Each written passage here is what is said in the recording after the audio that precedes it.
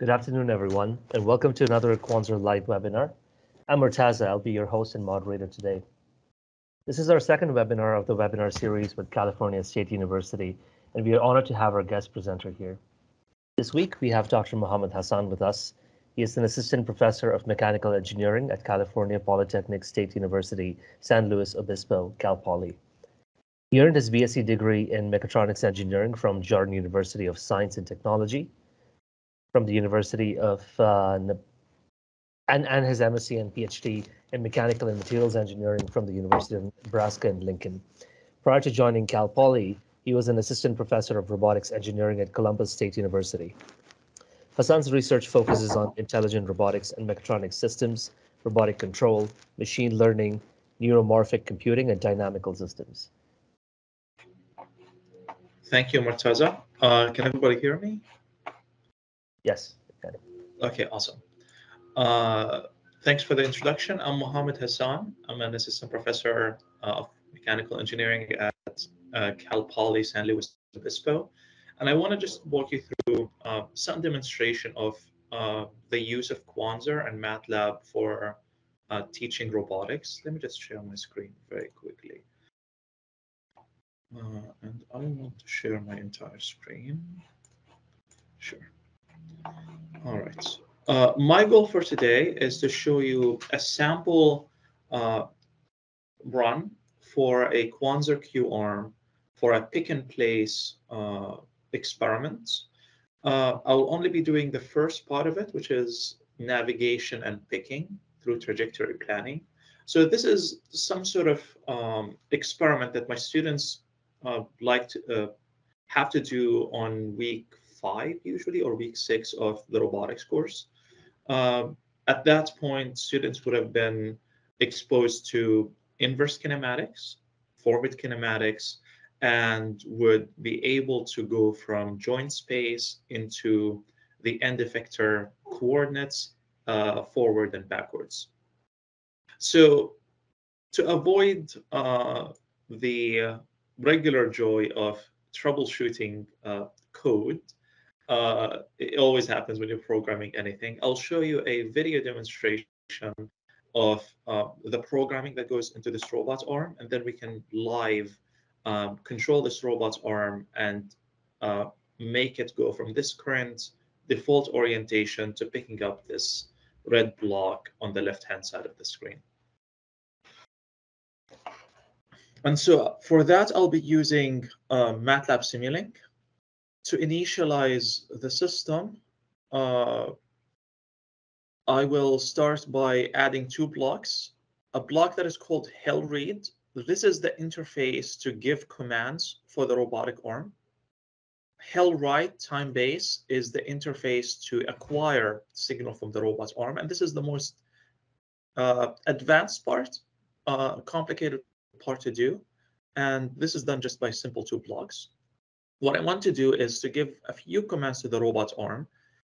I want to give the command for the goal position uh, for each of the joints in the robot. And I will also give commands for the LEDs on the robot arm.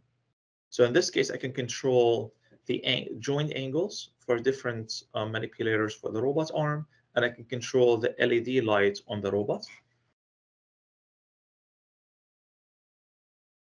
And I will give this command later throughout uh, this demonstration to reach the desired trajectory.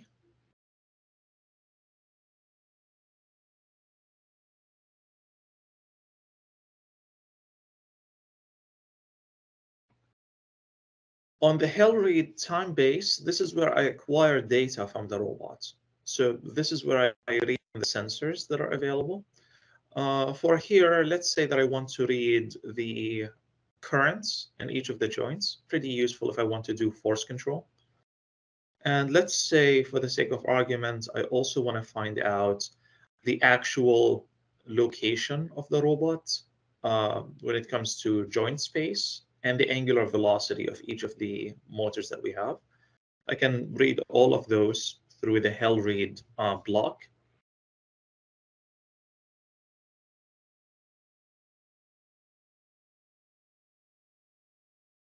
After that, this constant array that I have in here represents the um, destination that I want to reach. So I want to start from an x coordinate of my gripper at 0.45 and no velocity at all. And I want to reach an x position of 0.65 with no velocity at all. So this is for the rows, for the uh, this is for sorry the columns. Each row represents a goal and starting point, x, y, z, and the orientation of the wrist. My students will have to figure out a way to go from the starting point to the ending point, and it's pretty convenient to do so using uh, a cubic spline in order to minimize uh, jerk. So I'll do that through a MATLAB script. Uh, I can technically do that using simple blocks in the block diagram, but I'm I tend to be a little old-fashioned when it comes to uh, to programming. I like to do some things in script, and this allows me to type in what I want to do with my command.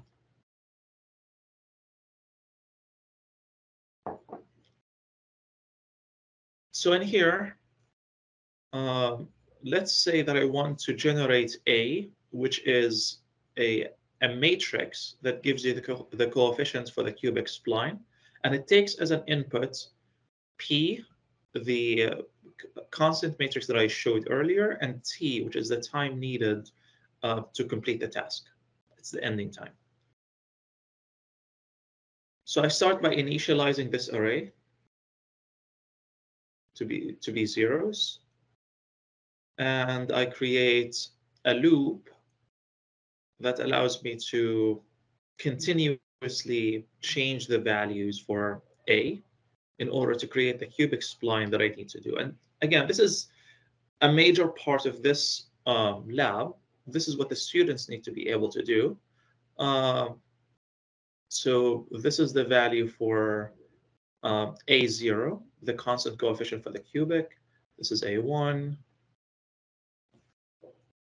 this is A2.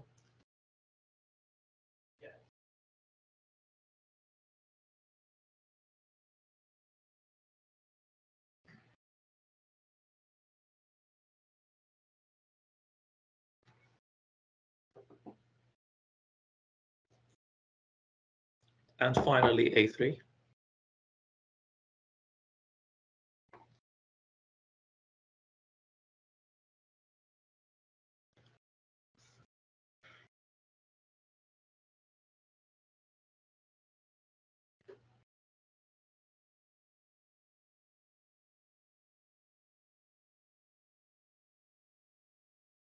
And with this, I get all of the coordinates uh, or all of the coefficients, I mean, of the cubic spline.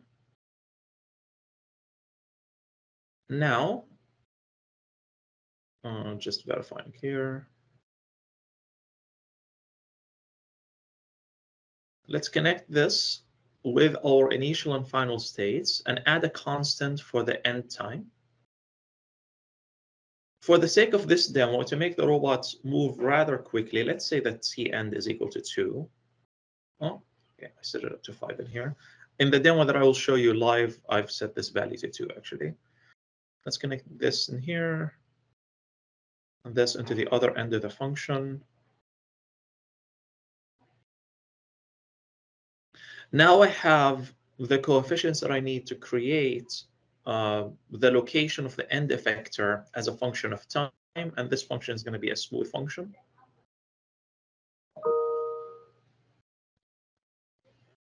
I'll create another script. And the goal of this next uh, script is to specify the desired end effector location at each time step. So I'll call this location of gripper.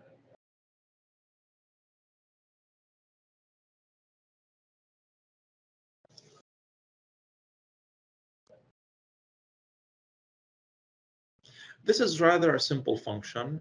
What I wanted to do is just to follow the cubic spline. And I also want to hold the robot in place after I reach uh, T end. at the end of the task. I don't want to continue it. Uh, I don't want it to continue to move. So I'll specify P and gamma. P is the location of the gripper. And as you can see, I kind of flipped the function location in here. Uh, so P is the location of the end of the gripper and gamma is the orientation of the wrist.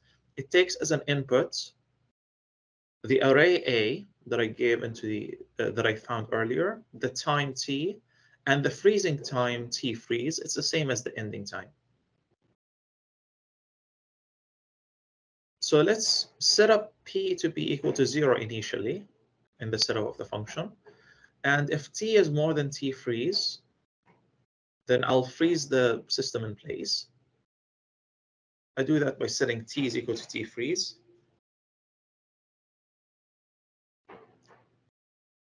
And I will iterate again from i is equal to 1 to 3 to find the value of the x, y, and z um, coordinates of the gripper at each time step.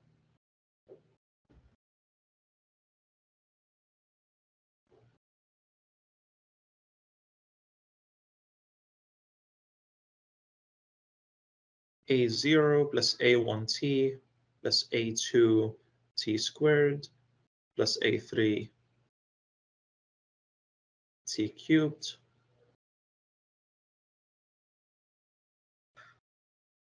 pi1 is going to be the x component, p2 is the y component, and p3 is the z component. And for gamma, I'm doing it outside this loop in here. So this is gamma. And this is going to be the fourth entrance in here.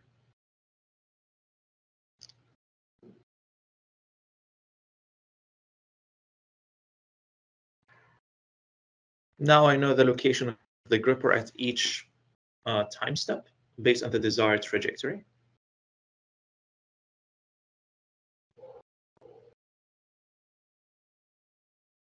I'll attach a few things in here. And I need to know the time. Luckily for me, in this real-time simulation, I can kind of generate the time uh, or find the value of time very easily using the time block. So I'll attach it in here. It's going to be attached to a few points as well during this demo. So there goes the time, and there goes the coefficients matrix. Now I can't feed the robot arm directly the values of P. This is the directions of the end effector. And what I want to do is to get uh, the joint angles. Get to that in a second. Uh, before then, let's give a very quick command for the gripper to either stay closed, uh, stay open or close. So I'll call this the gripper control function. And it takes two inputs, the time and the freeze time. And it outputs a command for the gripper. I'll call just gripper. F T is more than T freeze. Then keep the gripper open. Oh, if T is more than T freeze, uh, close the gripper. That. So I'll have command equal to one. Else the gripper is going to be open. I end in here.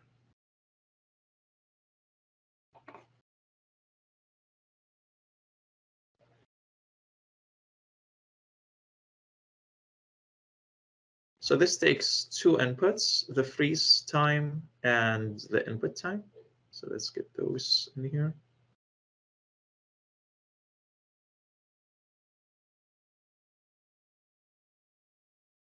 And please excuse the pretty bad wire handling in here. I kind of don't like my students to do so, but you know, sometimes when you're doing things quickly, uh, things kind of cross out. So the best way to deal with this sort of things is just to create a sub-blocks or functions in here.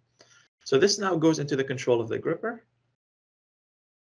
And for our uh, analyses, notice that I have a bunch of arrays, so I kind of need to uh, convert them into a bunch of numbers individually. So I'll do that using the Demux.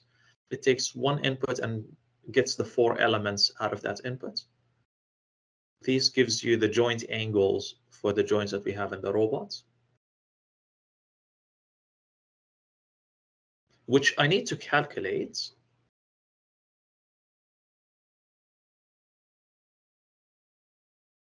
Before that, I want to introduce you to this block. So this is the heavy math block. This is the inverse dynamics block or in inverse kinematics. It takes the joint angles, uh, it takes, sorry, the location of the end effector and it produces the joint angles.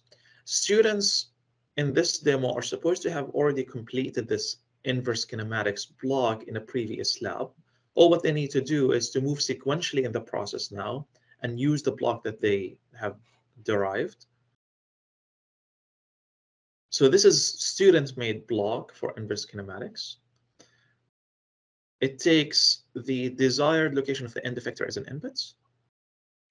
Uh, for my demo, while I can control the orientation of the wrist, I'll just keep it a constant for the time being. I'm just going to say that the wrist is always going to be at an angle of zero, and that's it.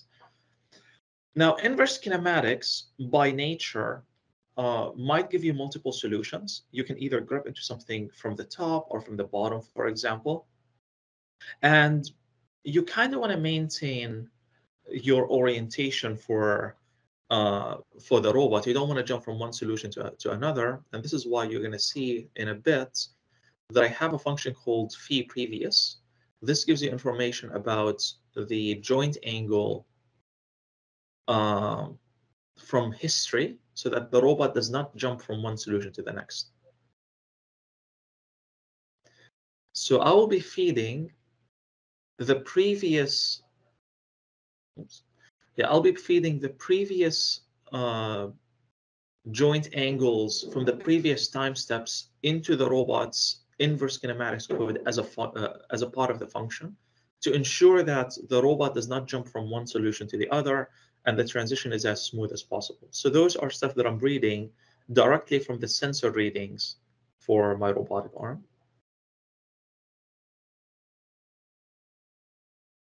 And now I get the joint angles that I need to feed to, to the robot, and I get it into the robot. Effectively, the code is done in here.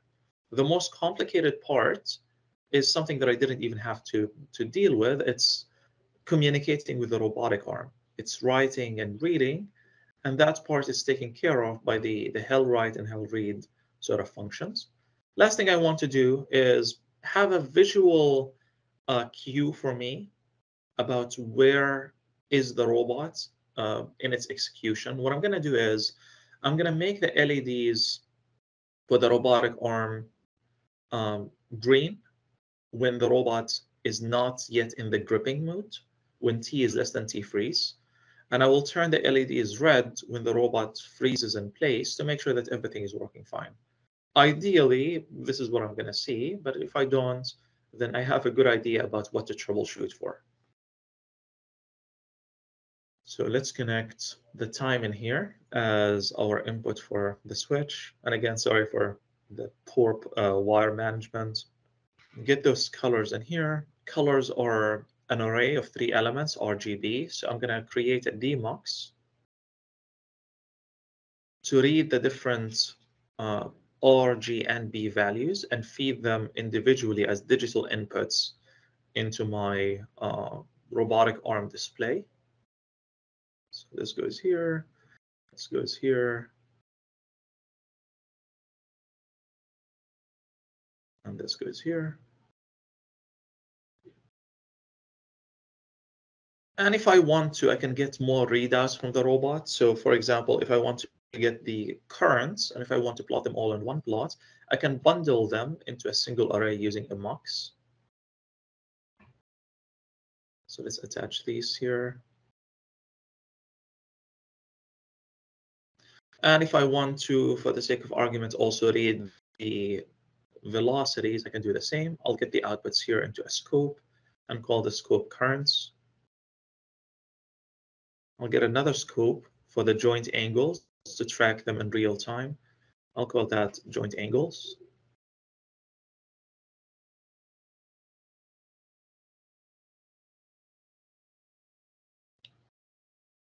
And I'm going to create one final mux for the joint velocities, bundle them together and take them through a scope.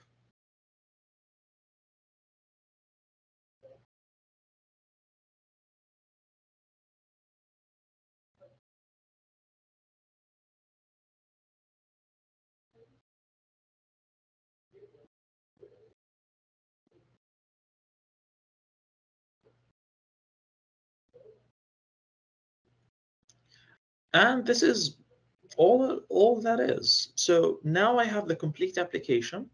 I have the uh, desired trajectory, the cubic spline, inverse dynamics. I can communicate with the robot and I can read from it as well. So I'll be cutting this part. So this is the, the fun part of troubleshooting. One of the functions in here that I created had an, a function end uh, with en instead of end, which caused MATLAB to complain. So five minutes later, after we get that thing sorted out, let's see in here.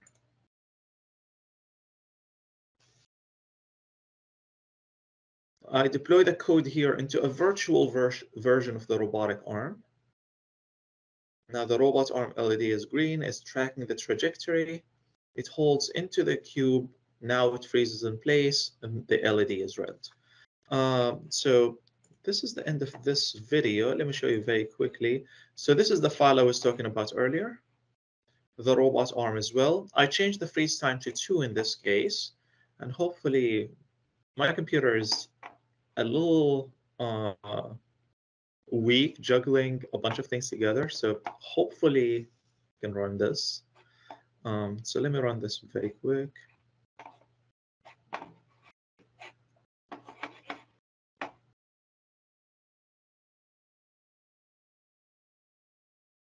Might run it a bit better if it decides. I think the recording is really taking all of the resources out of my computer.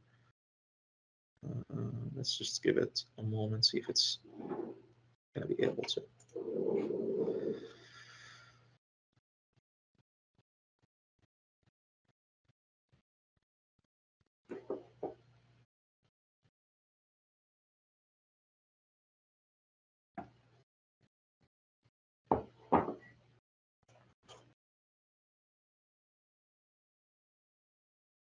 In the meantime, in the virtual uh, environment that I have in here, you might notice that I'm uh, seeing the radial coordinates in here, and I can also have the um, Cartesian coordinates. I can we just take out the rectilinear coordinates in here, uh, and let's let's keep the polar coordinates. I can view the RGB cameras as well. The robot arm is equipped with uh, a depth camera. And so one of the later experiments in the course is for the robot arm to generate the trajectory by itself through machine vision. And so every step of the way, one part of the, the project builds upon each other. And so this offers a pretty nice and synergistic sort of sequential project design for um, robotic arms. Um, and again, like the full task for the robotic arm is to go from here, pick this block and go all the way back and place it in its spot and go back and forth. It should be there any second. Uh, the students need to do the full thing. It's very iterative from a deploy standpoint, though.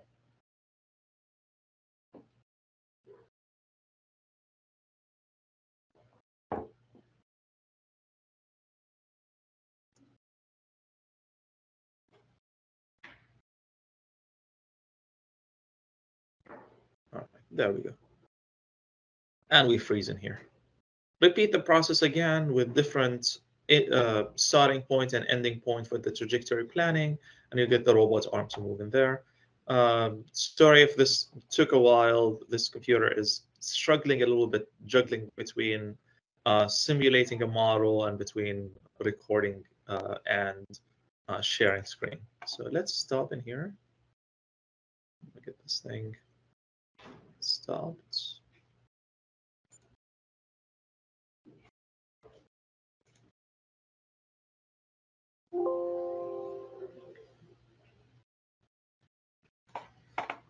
Okay. Correct orientation, go back to hardware. And there we are. So this is what I wanted to, to show off. The robotic arm is pretty straightforward to control. In our courses, we focus on using MATLAB for teaching students programming. And so it, it's very intuitive for students, from my experience, to jump from what they've studied in MATLAB for simulations and courses like automatic control, vibrations, dynamics, and go into controlling a robotic arm with very, very minimal sort of overhead for learning a new programming language. Well, with this, uh, I would like to thank you all for uh, listening to uh, my demonstration, and I'm open for questions. Thank you.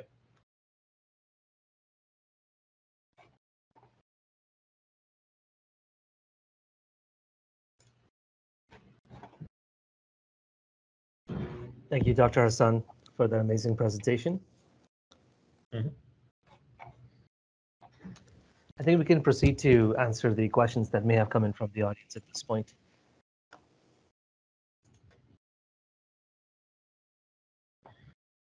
Uh, so we got a question here. What do you think are the advantages of using MATLAB and Quanser for teaching robotics? I think the biggest advantage that I'm seeing is that uh, it helps really aligning everything uh, together in, in the curriculum. Um, it is very tricky um, going through multiple programming languages within a single curriculum, especially in, in my area of mechanical engineering, where the curriculum is, is very big as is, and it's very hard to find the time to learn new programming languages just as a part of solving something.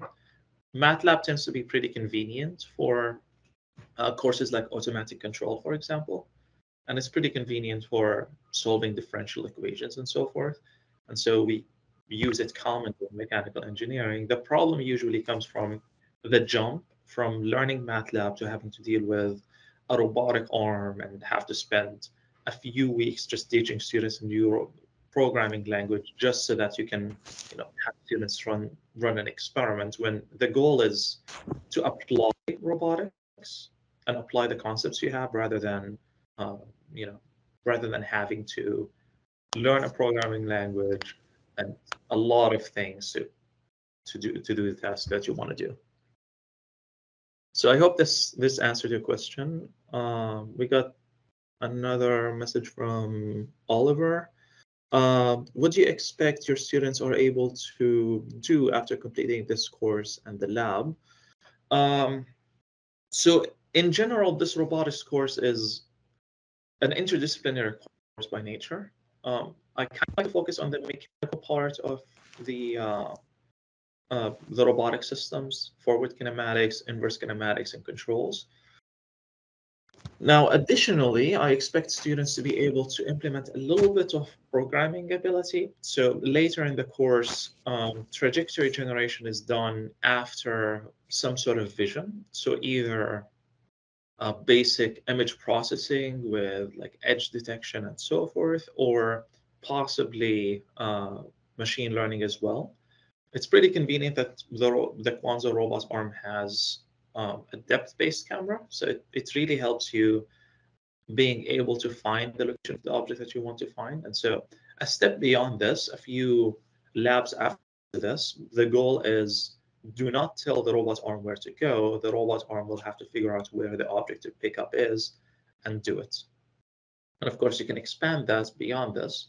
For robotic arms, the goal is to get the end effector to some location and follow a trajectory. That can be to pick and place. It can be to weld. It can be to write. It can be to you know operate a screwdriver. It can be for anything really.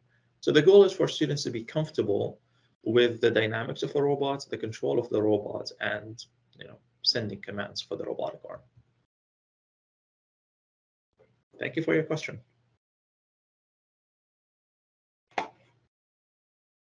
Okay, perfect. Uh, if you have any other questions for Dr. Hassan, please uh, feel free to add them to the chat. You can also send them to us um, at a later point and we'll run them by him and have them available for you. If you have any questions after this webinar, you can visit quanser.com or email info at quanser.com as well. We'll be happy to chat with you. Last but not the least, thank you again for joining us today. Have a great day or night ahead. Thank you.